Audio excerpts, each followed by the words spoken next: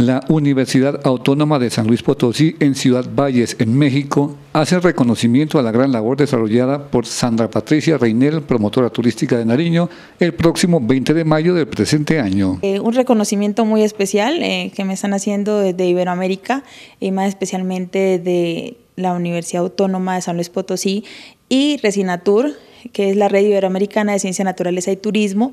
Ellos han mirado este trabajo que hemos realizado durante años aquí en, a nivel Nariño, eh, primeramente, y pues últimamente mucho, mucho, mucho en Tumaco, donde pues he tenido la oportunidad de trabajar en la costa pacífica.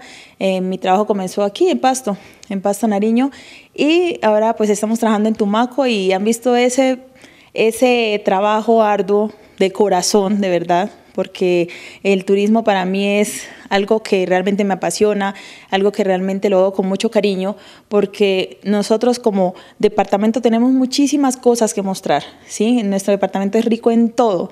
Y pues ellos han mirado esto y han dicho, no, eh, te mereces en reconocimiento, el, el mérito 2019 y pues además de esto, no solamente tenemos este premio, sino que nos han hecho otras invitaciones. Sandra será reconocida con el Mérito Turístico Iberoamericano 2019 por su destacada labor en la integración de comunidades afrodescendientes en el desarrollo turístico del distrito de Tumaco en Colombia. En el 2018 eh, hicimos una, nos hicieron una entrevista y pudimos hablar de Tumaco a nivel Iberoamérica. La revista se llama Tierra y esa revista pues eh, se maneja en toda Iberoamérica.